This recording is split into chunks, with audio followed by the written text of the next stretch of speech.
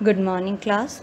This is our pharmacology class in which today we will study about the antipsychotic drugs or we can say psychopharmacology. Uh, this is uh, also one of the most important chapter of the drugs acting on central nervous system. Actually मैंने अपनी last class में आपको बोला था कि uh, uh, ये अपनी जो ड्रग्स ए की है, उसमें एक दो टॉपिक्स अपने रह गए हैं। तो उन एक दो टॉपिक्स में यही, एक तो एंटीसाइकोटिक ड्रग्स है और एक पार्किंसोनियन डिसीज़ है। तो एंटीसाइकोटिक ड्रग्स अपन पढ़ लेते हैं। देखिए psychiatric illness are broadly divide into साइकोसिस and neurosis जो साइकेट्रिक इलनेस है, वो दो तरह की होती है साइकोसिस न्यूरोसिस उनमें सबसे पहले अपन एंटीसाइकोटिक ड्रग्स पढ़ रहे हैं। Antipsychotic drugs are also known as neuroleptic drugs और एंटी शाइजोफ्रेनिक और schizophrenic drugs they are mainly use in schizophrenia acute mania and other acute psychotic states तो एंटीसाइकोटिक को हम क्या कह रहे हैं? न्यूरोलैप्टिक या मेजर ट्रांसक्यूलाइजर्स कहते हैं। ये मेडिकेशंस की वो क्लास है जिसको हम प्राइमरली यूज़ करते हैं साइकोसिस को मैनेज करने के लिए। प्रिंसिपली कौन सा साइकोसिस शाइजोफ्रीनिया और बाइपोलर डिसऑर्डर बाइपोलर डिसऑर्डर में क्या होता है? मूड स्विंग करता रहता है। कभी खुशी, कभी गम जैसे मूड में पर्सन रहता है। फ़र्स्ट जनरेशन की एंटी एंटीसाइकोटिक जो है, उसको अपन ए टिपिकल एंटी एंटीसाइकोटिक्स कहते हैं, जो 1950s में बनी थी, जबकि सेकंड जनरेशन को अपन ए टिपिकल फ़र्स्ट को तो typical anti antipsychotics, second generation को ए टिपिकल एंटी एंटीसाइकोटिक्स कहते हैं। फ़र्स्ट डिस्कवर्ड 1960 में हुई थी, ए टिपिकल और क्लिनिकली इसको इंट्रोड्यूस 1970s में किया गया था। डेफिनेशन क्या है? Antipsychotic drugs are a class of medication दवाइयों की वो क्लास है मेडिसिन की वो क्लास है, जिसको अपन साइकोसिस को ट्रीट करने के लिए या दूसरे कोई मेंटल या इमोशनल कंडीशंस को ट्रीट करने के लिए अपन जो ड्रग्स काम में लेते हैं, उनको अपन एंटीसाइकोटिक ड्रग्स कहते हैं। इनको अपन न्यूरोलैप्टिक ड्रग्स शाइजोफ्रिनिक ड्रग्स भी कहते हैं। और कौन कौन सी disease mainly schizophrenia acute mania और एक्यूट साइकोटिक स्टेट्स जो दूसरी हैं, उन सब के लिए भी अपन इन ड्रग्स को काम में लेते हैं। अब देखिए क्लासिफिकेशन क्लासिफिकेशन में फिनोथायाजिन थायोक्जेंथीन्स मेन इसकी दवाइयाँ हैं, तीसरी ब्यूटायरोफिनॉन्स और ए टिपिकल एंटीसाइकोटिक्स चार कैटेगरी में डिवाइड है। फिनोथायाजिन थायोक्जेंथिन्स ब्यूटायरोफिनॉन्स और ए टिपिकल एंटीसाइकोटिक्स। इनका फर्दर क्लासिफिकेशन देखिए फिनोथायाजिन के अंदर मेन तीन ड्रग्स होती हैं, क्लोरोप्रोमाजन ट्राईफ्लोरोप्रोमाजन और थायरोडेजन थायोरीडेजन नाम की ड्रग्स हैं, जिसमें इनका कौन कौन सा ट्रेड नेम है लिखा हुआ है, ओरल डोज जैसे क्लोरो प्रोमाजिन की 300 से 1500 एम अवेलेबल है। इसको अपन पेंट्रल रूट आईएम से देते हैं तो 50 से 100 एम तक की इसकी डोज अपन देते हैं, वो सफिशेंट है। ट्राई फ्लू की अपने को 100 से 400 एम में ओरल डोज दे सकते हैं, जबकि पेंट्रल 30 से 60 में भी आईएम सफिशेंट है। थायरोडाजन को अपन 300 से 800 एम केवल ओरल रूट से देते हैं ट्राईफ्लोरा पैराजन को अपन 15 साठ एम ओरल से, जबकि आईएम अपन एक से पाँच एम ही देते हैं तो भी सफिशेंट है। इसके बाद ये तो इसकी अलग ड्रग्स हैं, वरना अपन कॉमनली ऊपर की तीन ड्रग्स जो हैं वो काम में ले रहे होते हैं। इसके बाद मैंने दूसरी कैटेगरी बताई थायोक्जैंथिन थायोक्जैंथिन के अंदर थायोथिक्जिन नाम की ड्रग आ रही होती है। इसमें फ्लूपैथाइक्जॉल नाम से उसको बताया गया है। ये तीन से चालीस एम जी ओरल डोज से दी जाती है। तीसरी कैटेगरी मैंने आपको बताई ब्यूटायरोफिनॉन्स इसके अंदर हेलोपेरिडॉल आती है ड्रग पाँच से सौ एम जी अपन ओरल से और पाँच से बीस आई एम से दे रहे होते हैं। और मैंने जो लास्ट बताई वो ए टिपिकल थी। इसके अंदर हालाँकि दूसरी कैटेगरीज में मैंने आपको बता रखे है। डाईफिनाइल ब्यूटाइल है, चार से बीस ओरल से पैपेरिडेंस है बीस से साठ एम वीकली दी जाती है। इंडोलिक डेरिवेटिव्स पचास से दो सौ पच्चीस एम तक और डाई बेंजॉक्सा जैपन्स जो है वो पच्चीस से सौ एम जी तक दी जाती है। और लास्ट जो ए टिपिकल एंटीसाइकोटिक्स है इसके अंदर आ, कई सारी ड्रग्स आ रही होती हैं जैसे कि क्लोजापिन रिस्पैरिडॉन ओलानजैपन एरिपेप्राजोल वगैरह वगैरह इसके अंदर ड्रग्स आ रही होती हैं, यहाँ जो आगे लिखी हुई हैं, आपको दिखाई दे रही हैं। तो दो से दस एम में रिस्पैरिडॉन दे रहे हैं ओलानजैपेन अपन दस से बीस एम में क्वेटापेन अपन डेढ़ सौ से साढ़े सात सौ एम में देते हैं जेप्रासिडॉन अपन बीस से अस्सी एम में, और अदर ड्रग्स के अंदर असरपाइन आती है, जो कि अपन पॉइंट फाइव से पचास एम डोज में देते हैं। अब इन मेडिसिन के लिए कुछ इंडिकेशंस दिए हुए हैं। कि एंटी साइकोटिक्स जो है वो मेनली अपन एक्यूट या क्रॉनिक किसी को साइकोसिस हुआ हो पर्टिकुलरली जब किसी का साइकोमोटर एक्टिविटी बहुत ज़्यादा बढ़ जाती है। इसकी वजह से उनके अंदर कोई साइकोसिस जैसी कंडीशन हुई है तो उसको ट्रीट करने के लिए अपन इन दवाइयों को काम में लेते हैं। अब वो कौन सी कंडीशन है? जैसे ऑर्गेनिक साइकेटिक डिसऑर्डर हुआ functional disorder mood disorder organic psychotic disorder में डेलीरियम डिमेंशिया डेलीरियम ट्रिमेंस आती हैं जबकि फंक्शनल डिसऑर्डर में शाइजोफ्रेनिया शाइजो अफेक्टिव डिसऑर्डर्स वगैरह आ रहे होते हैं। मूड डिसऑर्डर्स के अंदर mania major depression with psychotic symptoms आ रहे हैं। अब इसके बाद आ, ऐसी जब दवाइयाँ हम दे रहे होते हैं तो हमारे को पेशेंट या उसकी फैमिली को कुछ पर्टिकुलर टाइप की एजुकेशन देनी बहुत ज़रूरी है। जैसे कि पेशेंट को पता होना चाहिए कि वो इन ड्रग्स के लिए कॉशियस रहे। Be cautious while driving and operating dangerous machinery भाई, अगर वो ड्राइविंग कर रहा है या कोई डेंजरस मशीन को ऑपरेट करने वाला है तो वो ध्यान रखे अगर वो पेशेंट्स एंटीसाइकोटिक ड्रग्स वो लेता है तो।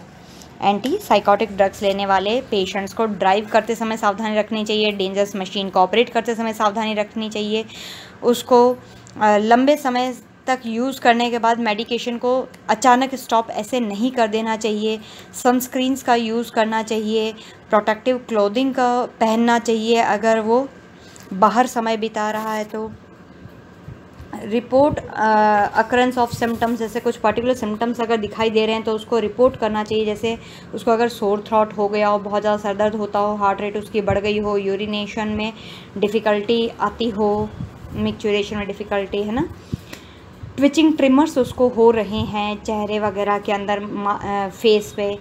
डार्क कलर का यूरिन अगर पास हो रहा है, स्किन या आइज़ उसकी येलो हो गई हैं, स्किन पे रैशेज़ हो गए हैं या उसको सीजर्स आ रहे हों, दौरे पड़ रहे हों तो उसको बताना चाहिए। अगर बचपन में कोई डिज़ाइ डिसऑर्डर उसको हुआ हो, जैसे attention deficit hyperactivity disorder हो जाता है, कि भाई, या ऑटिज़म है हाइपर एक्टिविटी डिसऑर्डर इसमें क्या होता है, कई बार बच्चे बहुत ज़्यादा हाइपर एक्टिव हो जाते हैं, अगर उन पर कोई ध्यान नहीं दे रहा होता है तो ऑटिज़म तो बहरापन है ही। इसके अलावा न्यूरोटिक या दूसरी कोई सेकेट्रिक डिसऑर्डर उसको हुआ हो, जैसे एनोरेक्सिया नर्वोसा हो जाता है, भूख से रिलेटेड है ये प्रॉब्लम इंट्रैक्टेबल ओसीडी हुआ हो किसी को ईयर का डिसऑर्डर डिसेबलिंग एंग्जाइटी उसे हो रही हो। वैसे तो ये सारे सारे साइकिक डिसऑर्डर ही हैं, खैर। मेडिकल डिसऑर्डर्स के अंदर हंटिंगटन कोरी किसी को हुआ हो? Huntington chorea is a genetic disorder इसमें इनवॉल्यूंट्री मस्कुलर मूवमेंट हो जाता है। इस डिज़ीज़ का नाम याद रखिएगा, क्योंकि ये डिज़ीज़ मैं आपको जेनेटिक्स के अंदर डिटेल में पढ़ाऊँगी। इसके अलावा अगर नोज़िया वॉमिटिंग उसको होता हो एक्लैम्सिया एक्लैम्सिया में प्रेगनेंसी के दौरान हाइपर हो जाता है, वो एक्लैम्पसिया है। ठीक है? इसके अलावा हीट स्ट्रोक की शिकायत किसी को हो तो उसे बताना चाहिए। अब फार्मेको काइनेटिक अपन देखें। फार्मियोकाइनेटिक देखने से पहले अपन मैकेनिज्म ऑफ़ एक्शन आप एक बार सुन लीजिए एंटीसाइकोटिक का। हालाँकि आगे भी मैं पढ़ाऊँगी, पर एक बार मैकेनिज्म ऑफ़ एक्शन सुनिए कि कन्वेंशनल एंटीसाइकोटिक्स जो होती है, वो मेनली हमारे मिजोलिम्बिक सिस्टम के अंदर जो डी टू रिसेप्टर हैं डोपामिन के, उनको ब्लॉक कर देती हैं। जबकि ए टिपिकल एंटीसाइकोटिक्स जो होती है, वो फाइव एच टी रिसेप्टर को ब्लॉक करती है। ये आपको पता होना चाहिए। कन्वेंशनल एंटीसाइकोटिक्स यानी टिपिकल एंटीसाइकोटिक्स तो मिजैम मीजोलिम्बिक सिस्टम में डी टू डोपामिन का डी टू रिसेप्टर और atypical antipsychotics five H T receptor को ब्लॉक करती है। अब फार्मेकोकाइनेटिक्स सुनिए। एंटीसाइकोटिक्स को जब अपन ओरली एडमिनिस्टर करते हैं तो जीआईटी में एब्जॉर्ब हो जाती है और ब्लड लेवल में वो अनइवनली जा रही होती है विद अनइवन ब्लड लेवल्स ये प्लाज्मा के साथ हाईली बाउंड करती है और टिश्यू प्रोटीन के साथ भी हाईली बाउंड करती है प्लाज्मा और टिश्यू प्रोटीन के साथ में। लीवर में मेटाबोलाइज होती है किडनी के थ्रू ये एक्सक्रीट आउट होती है। एलिमिनेशन में इसके 10 से 24 घंटे लग जाते हैं। वेरी कर रहा होता है ये टाइम पीरियड किसी में 10 किसी में 12 किसी में 24 घंटे में ये एलिमिनेट होती है बॉडी से। तो ओरली दे सकते हैं जीआईटी में एब्जॉर्ब हो जाएगी।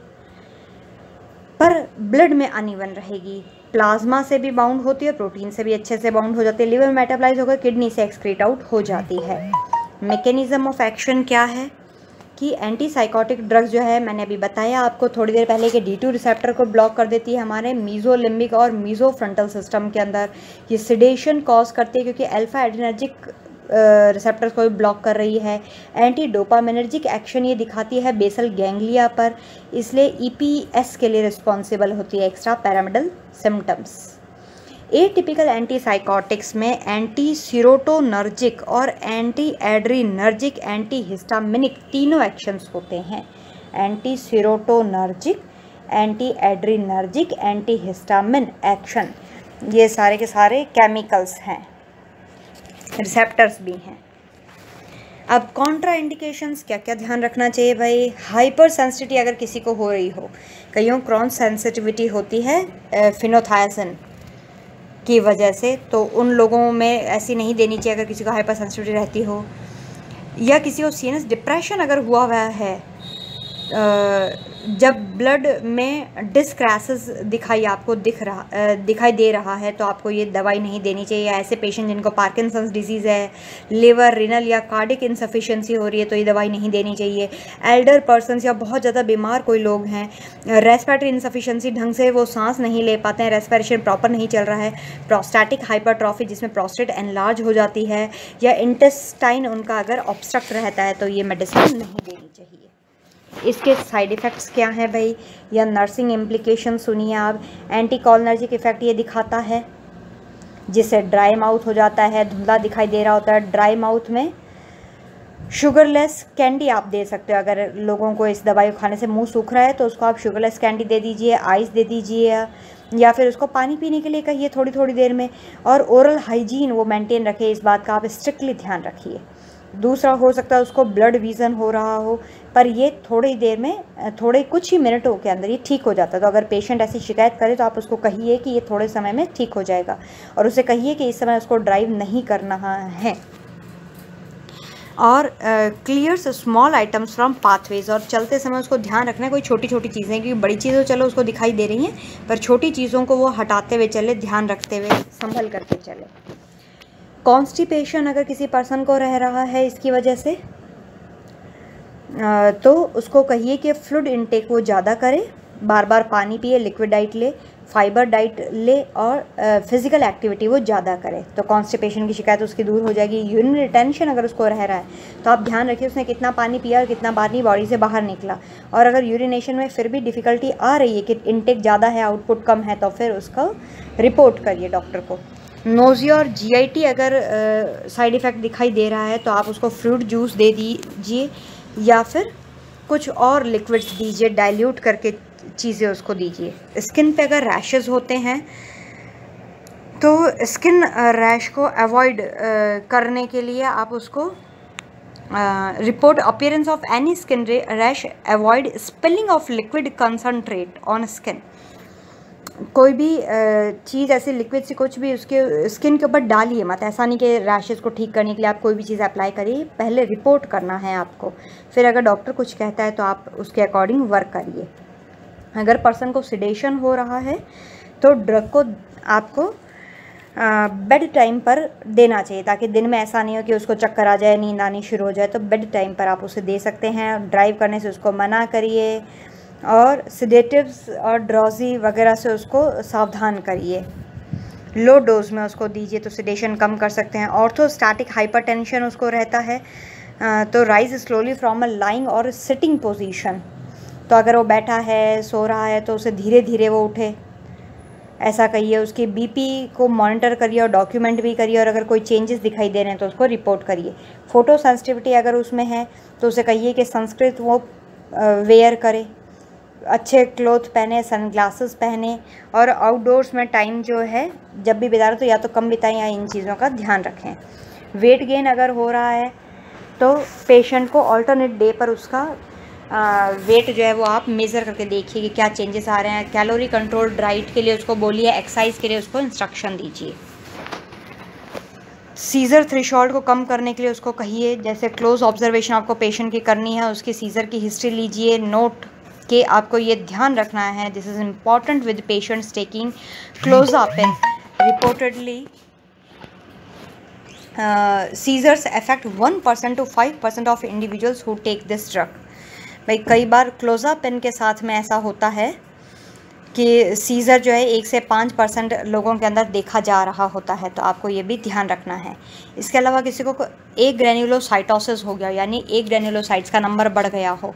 हालाँकि रिलेटिवली बहुत रेयर है एंटी साइकोटिक ड्रग्स के साथ में बहुत कम दिखाई दे रहा है, पर कई बार फ़र्स्ट थ्री मंथ्स में ये दिखाई दे जाता है। तो सिम्टम्स को आप ऑब्ज़र्व करिए कि भाई सोर थ्रॉट हो रहा है फीवर हो रहा हो मेलाइज कमज़ोरी महसूस हो रही हो। तो आप उसको देखिए। सीबीसी उसको उसको मॉनिटर करिए। अगर आपको सिम्टम दिखाई दे रहे हैं तो उसको सीबीसी करवाने के लिए बोलिए। इसके अलावा एक्स्ट्रा पिरामिडल सिम्टम्स के अंदर स्यूडो पार्किंसोनिज्म हो सकता है, जिसमें पर्सन को ट्रिमर होगा शफलिंग गायट होगा ड्रूलिंग रिजिडिटी जैसे सिम्टम उसमें दिखाई देंगे। एकाइनेसिया जिसमें मस्कुलर वीकनेस आ जाती है। सिम्टम्स आपको एक से पाँच दिन में दिखाई देंगे। जिसमें एंटीसाइकोटिक दवाई शुरू करते या एक से पाँच दिन में ये सिम्टम दिखाई देंगे। मोस्टली वेमेन में या बूढ़े लोगों के अंदर या जो लोग पानी कम पीते हैं उनमें ऐसा दिखाई देता है। अकेथीसिया कंटिन्यूस रेस्टलेसनेस और फिट गेटिंग मतलब बेचैनी रहती है। ये भी वेमेन में ज़्यादा देखा जाता है। और थेरेपी शुरू करने से पचास साठ दिन के अंदर दिखाई दे जाता है या उसके बाद दिखाई दे जाता है। डिस्टोनिया इनवॉल्यूंट्री मस्कुलर मूवमेंट है स्पेशली फेस का। स्पाजम की वजह से फेस आर्म्स लेग्स नेक वगैरह के अंदर मैन में दिखाई देता है या जो यंगर पेशेंट्स होते हैं, पच्चीस साल से छोटे लोग, उनमें दिखाई देता है। टाडर डिस्क काइनेशिया जिसको अपन बिजर फेशियल या टंग मूवमेंट कहते हैं स्टिफ नेक इसमें हो जाते हैं डिफ़िकल्टी में स्वेलोइंग के अंदर डिफ़िकल्टी हो रही होती है लॉन्ग टर्म जो थेरेपी जो पेशेंट्स ले रहे होते हैं ये सिम्टम जो होते हैं पोटेंशियली इरिवर्सिबल होते हैं, ठीक और नहीं होते हैं। तो drug should be withdrawn at first sign जैसे ही कोई फ़र्स्ट साइन दिखाई दे, उसको छुड़वा दो। जिसमें क्या होता है फ़र्स्ट साइन में टंग का वर्नी फॉर्म मूवमेंट दिखाई देता है, जीभ हिलने लगती है अलग, अजीब तरीके से। तो उसी समय छुड़वा दो, क्योंकि नहीं तो ये सिम्टम दिख गए तो ठीक और नहीं होंगे। इसके अलावा न्यूरो लैप्टिक मैलिग्नेंट सिंड्रोम किसी को हुआ हो, ये भी बहुत रेयर होता है। पोटेंशली जानलेवा कॉम्प्लिकेटेड न्यूरोलैप्टिक ड्रग्स के साथ ये होता है तो आपको टेम्परेचर मॉनिटर करना है और पार्किंसोनियन के सिम्टम्स तो नहीं आ रही, ये ऑब्ज़र्व करना है। ऑनसेट इन सिम्टम्स का हो सकता है एक घंटे के अंदर अंदर भी और हो सकता है ड्रग शुरू करने के एक साल बाद हो या एक साल के अंदर हो या तो एक घंटे के अंदर अंदर या फिर एक साल भी लग जाता है। इसके सिम्टम्स में सीवियर पार्किंसोनियन मसल रिजिडिटी हो जाती है, बुखार हो जाती है 107 डिग्री फ़ारेनहाइट तक। टकैपनिया हार्ट बीट और सांस बढ़ जाएगी, दोनों हो जाएगा टैकेपनिया और टैकाइकार्डिया। फ्लक बीपी में भी फ्लक्चुएशन आएगा। मेंटल स्टेटस भी उसकी हमेशा चेंज होती रहेगी। न्यूरोलैप्टिक मेडिकेशन डिसकंटिन्यू कर देनी चाहिए ऐसी केस में तुरंत ही आपको। उसके वाइटल साइन पेशेंट का नोट करना है मसल जिलिटी की डिग्री को नोट करना है कितना वो आ, क्या चीज़ ले रहा है क्या चीज़ उसकी बॉडी से कितनी निकल रही कितना उसने लिया वो उसको कितना होश है ये सब आपको मॉनिटर करना है। फिजिशियन को ब्रोमोक्रिप्टिन या डेंट्रोलिन जैसी दवाइयों को देना है ताकि इफ़ेक्ट जो है वो कॉन्ट्रैक्ट हो सके। उसको कहना है कि भाई, अगर आप बैठे हैं, लेटे हैं तो धीरे धीरे उठें ताकि बीपी एकदम से कम ना हो जाए। पानी पीते रहें शुगरलेस जो भी कोई चीज़ है ऐसी, वो चबाते रहें ओरल हाइजीन को मेंटेन रखें। ये चीज़ें मैं आपको पहले बता चुकी हूँ। फिजिशियन से कंसल्ट करना है। अगर वो स्मोकिंग करता है तो न्यूरोलैप्टिक थेरेपी के दौरान ये बताइए आप फिजिशियन को। Dress warmly in cold weather सर्दियों में गर्म कपड़े पहनने हैं। बहुत गर्म या कम टेम्परेचर पर उसको नहीं रहना है। Body temperature is harder to maintain with this medication क्योंकि अगर टेम्परेचर बॉडी का चेंज हो गया तो आप उसको ठीक नहीं कर पाओगे। टेम्परेचर कंट्रोल नहीं कर पाओगे, आप नॉर्मल पे ला नहीं पाओगे। इसलिए पहले ही उसका ध्यान रखना है कि उसको ज़्यादा सर्दी, ज़्यादा गर्मी के एरियाज़ में नहीं जाना है। एल्कोहल से दूर रहना है, दूसरी मेडिकेशंस नहीं लेनी है फिजिशियन से पूछे बिना। न्यूरोलेप्टिक का प्रेगनेंसी के दौरान बहुत ज़्यादा ध्यान रखना है कि ऐसी कोई चीज़ ना अराइज हो जाए।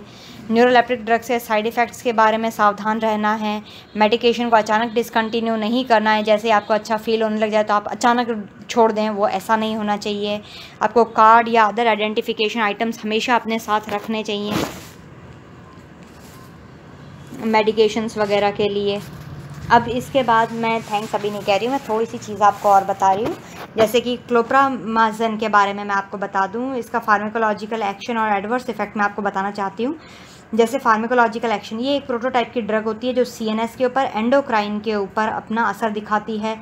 सिडेटिव हिप्नोटिक और कुछ और भी एक्शंस होते हैं इसके। सीएनएस के अंदर ये शाइजोफ्रेनिया में दी जाती है।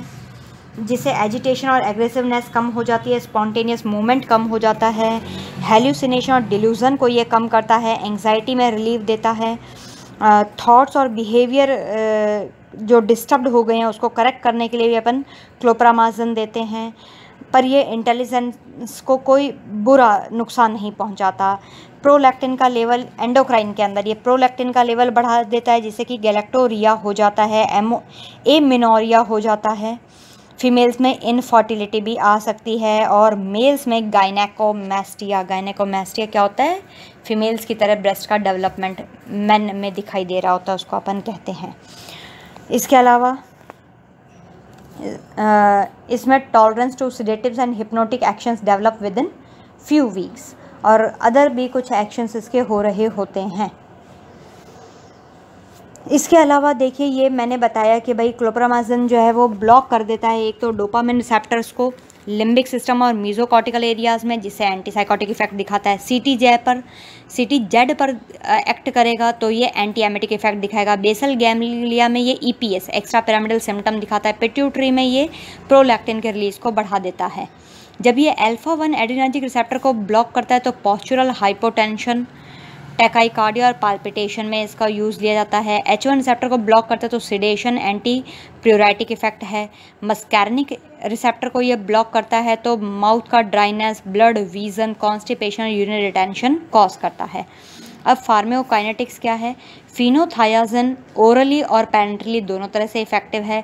क्लोप्रोमाजन जो है वो प्लाज्मा प्रोटीन से हाईली बाउंड होती है और ब्रेन में हाई कंसनट्रेशन में पहुँचती है। लीवर में मेटाबोलाइज होती है यूरिन में एक्सक्रीट आउट होती है। एडवर्स इफ़ेक्ट में पार्किंसोनियन सिंड्रोम एक्यूट डिस्टोनियस जिसमें मस्कुलर मूवमेंट अनकंट्रोल हो जाता है। इसको अपन डिस्टोनियस कहते हैं, जो मैंने अभी थोड़ी देर पहले आपको बताया था फेस टंग नेक वगैरह में हो जाता है।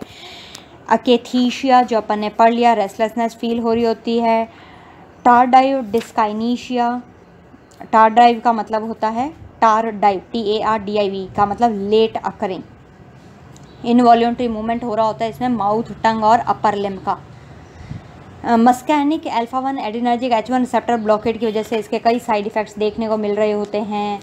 अदर साइड इफ़ेक्ट्स में weight gain amenorrhoea galactorrhoea infertility in women gynaecomastia in man skin rashes itching और डर्मेटाइटिस ये मैं आपको पढ़ा चुकी हूँ। तो बस, अब इसके साथ आपका ये एंटी साइकोटिक नाम का टॉपिक ख़त्म, क्योंकि एंटी साइकोटिक पर आपके क्वेश्चन आया हुआ है तो इसको इंपॉर्टेंट लिख लीजिएगा, याद कर लीजिएगा, कोई डाउट हो तो आप मुझसे पूछ सकते हैं। Thank you class